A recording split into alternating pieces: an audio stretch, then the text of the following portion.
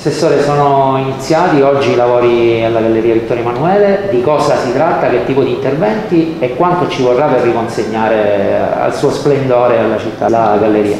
Sì, sono iniziati oggi, materialmente la consegna era stata fatta due giorni fa, sono degli interventi della durata prevista di 100 giorni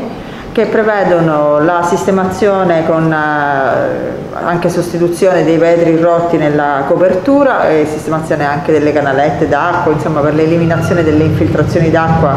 che sono presenti all'interno della galleria. Poi ci sarà la sistemazione dell'illuminazione e infine sarà fatta la sistemazione della pavimentazione con ricollocazione delle tessere che in questi anni purtroppo sono state, sono state asportate dagli avventori, insomma, anche per eh, il fatto che venivano tirati gli arredi un po' di qua un po' di là, ma erano state conservate e quindi verranno ricollocate. Finita questa fase, contemporaneamente stiamo già partendo, l'assessore Caminiti sta già partendo con la gara per eh, la collocazione delle vetrate, quindi poi la galleria verrà completamente chiusa e sarà un, insomma, un vero gioiello, un vero salotto del centro storico. Per ultima parte poi saranno forniti gli arredi e tutta la sistemazione diciamo, dell'occupazione del suolo pubblico all'esterno degli esercizi commerciali in maniera tale che ci sia uniformità e anche l'eleganza necessaria a un luogo che è il salotto del centro storico. Abbiamo detto un centinaio di giorni, si arriva proprio nel periodo di Natale sì. se tutto va bene. Quanto è importante restituire alla città una parte così bella anche in chiave turistica?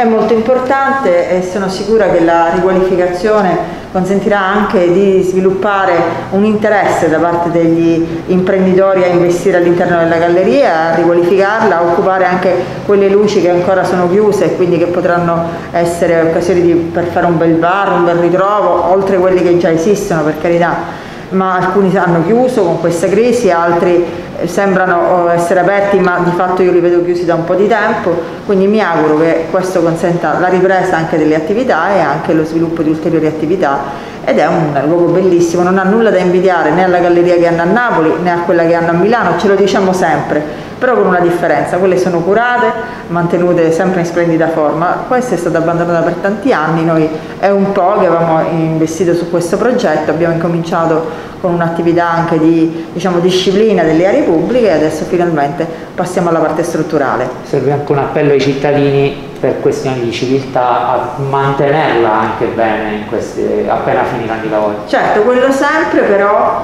visto che la fiducia è sempre un'ottima arma ma il controllo altrettanto, ovviamente ci sarà un sistema di telecamere, c'è già all'interno della eh, galleria ma sarà ulteriormente sviluppato e implementato e quindi sarà un'area assolutamente da questo punto moderna, sarà fornita anche di wifi quindi sarà a maggior ragione un vero e proprio salotto moderno e che ci auguriamo che i messinesi possano nuovamente riscoprire e valorizzare come merita.